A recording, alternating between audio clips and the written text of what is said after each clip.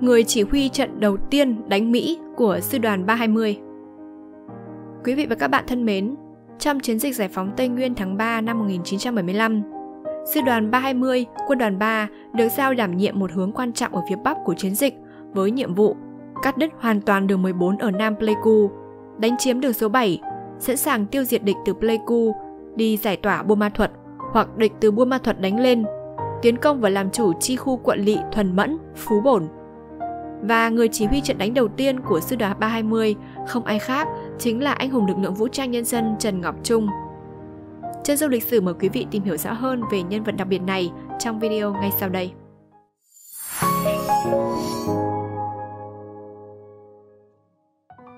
Anh hùng liệt sĩ Trần Ngọc Trung, sinh năm 1930, quê ở xã Đoan Hùng, huyện Hưng Hà, tỉnh Thái Bình. Nhập ngũ vào tháng 10 năm 1950. Thực hiện quyết tâm chiến lược của Trung ương về tiến hành cuộc tổng tiến công và nổi dậy trên toàn miền Nam Tết Mậu Thân. Cuối năm 1967, từ khu rừng Cúc Phương ở Ninh Bình, sư đoàn 320 lên đường vào chiến trường Bắc Quảng Trị, còn gọi là B5, để chiến đấu.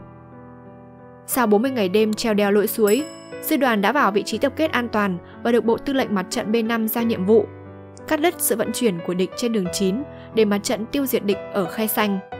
Góp phần thu hút kéo quân Mỹ ra chống đỡ để giam chân rồi tiêu diệt, tạo thuận lợi cho toàn miền tiến hành cuộc tổng tiến công. Bộ Tư lệnh Sư đoàn đã sử dụng một trung đoàn 64 đánh cắt giao thông đường 9 ở khu vực Động Mã và đánh địch giải tỏa ở Đông Nam Cù Đinh, cao điểm 182 ra cho trung đoàn 48 đánh địch trên đường 76 và chuẩn bị tiến công chi khu Cam Lộ. Mặc dù thời gian gấp gáp, nhưng trung đoàn 64 vẫn nỗ lực khắc phục khó khăn, quyết tâm đánh trận mở màn thắng lợi. Sau gần một tuần hành quân chiếm lĩnh, xây dựng trận địa, tiểu đoàn 7 cùng các phân đội pháo cối của tiểu đoàn 14, súng máy cao xạ 12,7mm của tiểu đoàn 16 và hỏa lực của trung đoàn tăng cường đã hoàn thành trận địa chốt trên dãy núi Động Mã. Là người chỉ huy, trưởng thành trong kháng chiến chống Pháp, nhưng đây là lần đầu tiên chiến đấu với quân Mỹ có lợi thế hơn hẳn về vũ khí trang bị, nên tiểu đoàn trưởng Trần Ngọc Trung đã đến từng phân đội, động viên bộ đội giữ vững quyết tâm, hiệp đồng chặt chẽ, quyết đánh thắng trận đầu. Ở hướng dự kiến địch giải tỏa, tiểu đoàn 8 cũng đã bố trí xong trận địa.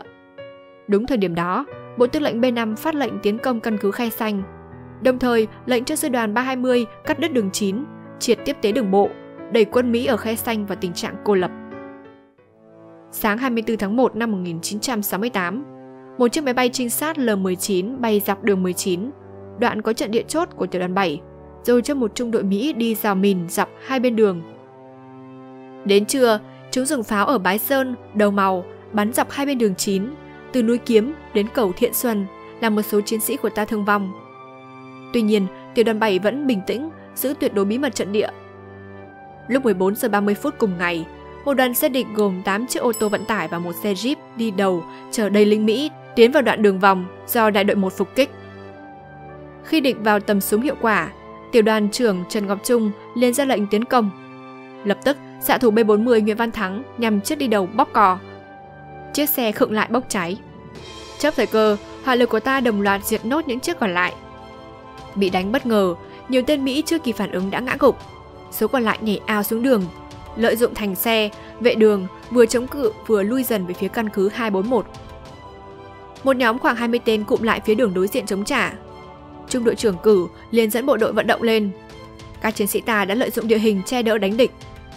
Chỉ sau chưa đầy 20 phút, các chiến sĩ đại đội 1 đã diệt tại chỗ 30 tên Mỹ, phá hủy 8 xe ô tô rồi rút nhanh khỏi trận địa. Khi đơn vị đã rút về trận địa mới ở núi Kiếm cách đó 500 mét an toàn thì pháo địch ở các nơi dội cấp tập vào khu vực vừa diễn ra trận đánh. Pháo địch vừa dừng thì năm chiếc máy bay A-37 lao đến trước bom san bằng bình địa. Gần tối, một đại đội Mỹ có hai xe tăng đi đầu từ căn cứ 241 theo đường 9 tiến về phía trận địa ta. Vừa đi vừa bắn loạn xạ. Khi địch đi qua trận địa cũ của đại đội 1, vào hết trận địa phục kích của ta ở cầu Thiện Xuân. Lập tức, bộ đội ta nổ súng diệt liền hai xe tăng địch. Trước thời cơ, tiểu đoàn trưởng Trần Ngọc Trung ra lệnh cho đại đội 1 đánh chặn khóa đuôi. Đại đội 3 vận động đánh vào bên sườn. Trước sức mạnh tiến công dũng mãnh của bộ đội ta, quân Mỹ khiếp sợ kêu la, chấm cự yếu ớt rồi bỏ chạy, để lại 70 xác chết. Ngày đầu ra quân, các chiến sĩ tiểu đoàn 7 đã lập công xuất sắc, đánh liền hai trận phục kích giòn giã, diệt 100 tên Mỹ, phá hủy 8 xe ô tô và hai xe tăng, cắt đất hoàn toàn đường chín, làm cho bộ đội tin tưởng vào khả năng đánh Mỹ và thắng Mỹ, tạo điều kiện cho sư đoàn 304 và sư đoàn 325 trên hướng chủ yếu của chiến dịch siết chặt thêm vòng vây quân Mỹ ở Khe Xanh.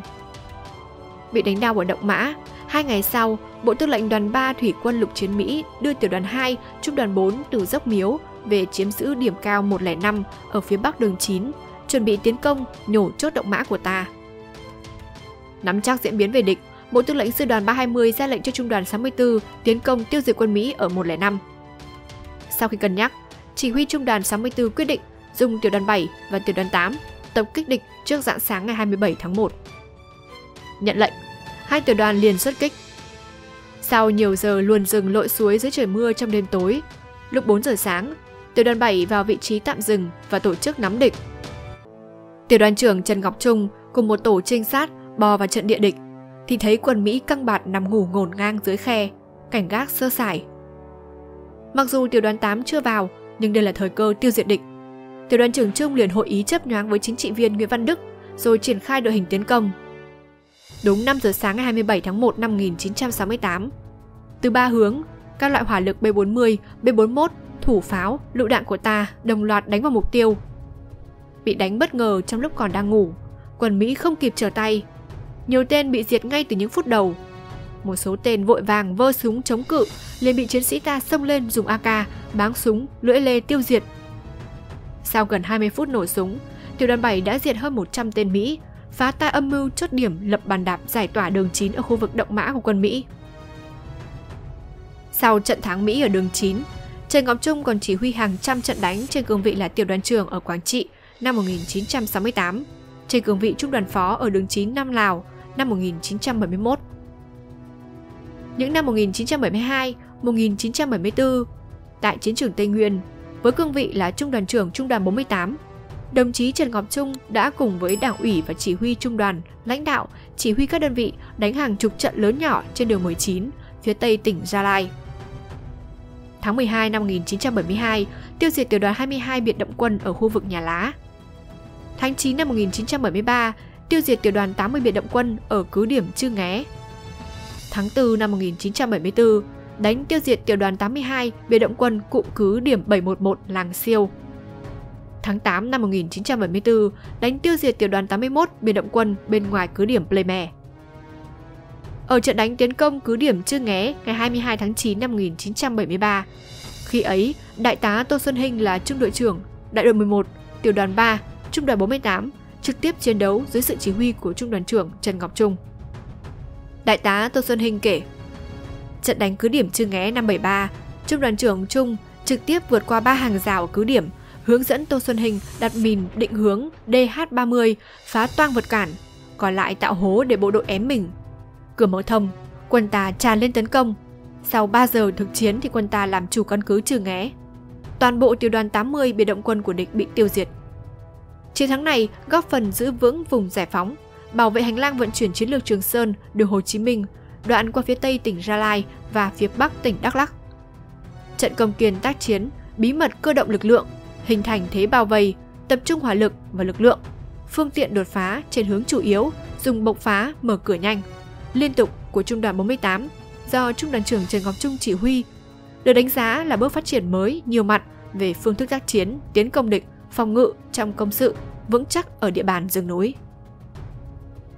Trong chiến dịch Hồ Chí Minh năm 1975, trên cương vị Phó Tham mưu trưởng Sư đoàn 320, đồng chí Trần Ngọc Trung được cử trực tiếp xuống Trung đoàn 48, chỉ đạo các phương án chiến đấu. Trung đoàn 48 đã đánh thắng giòn giã các trận có ý nghĩa quan trọng như Thuần Mẫn, đường 14, Đồng Dù, Củ Chi, Buôn Ma Thuật trong chiến dịch Tây Nguyên tháng 3 năm 1975, góp phần cùng với sư đoàn lập chiến công to lớn.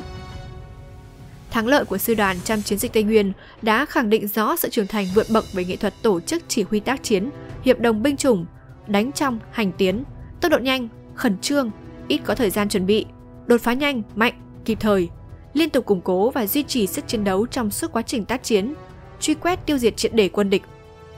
Trung tướng Khuất Duy Tiến xúc động. Ngày 12 tháng 2 năm 1979, đúng là ngày định mệnh đối với anh Trung. Ông kể, sáng hôm ấy, Phó tư lệnh tham mưu trưởng sư đoàn 320 trên Ngọc Trung tắm giặt rồi ăn sáng đàng hoàng. Sau đó trực tiếp báo cáo sư đoàn trưởng Khuất Duy Tiến đi kiểm tra đốc chiến ở trung đoàn 48. Và khi xe của tham mưu trưởng sư đoàn đến đường 3, Ta Keo, tỉnh Kampot, thì trúng đạn phục kích của tàn quân Pol Pot.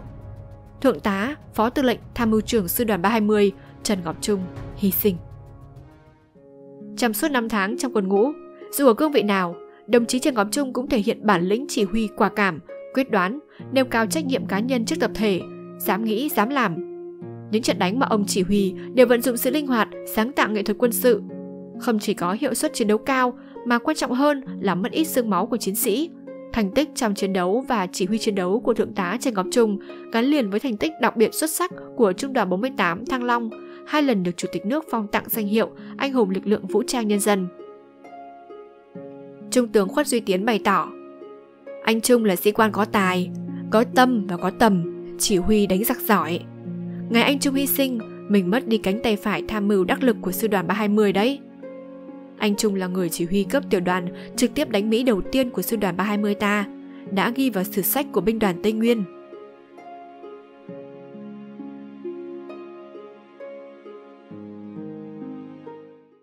Còn bạn, bạn cảm nhận như thế nào về người chỉ huy của sư đoàn 320, anh hùng lực lượng vũ trang nhân dân, Thượng tá Trần Ngọc Trung?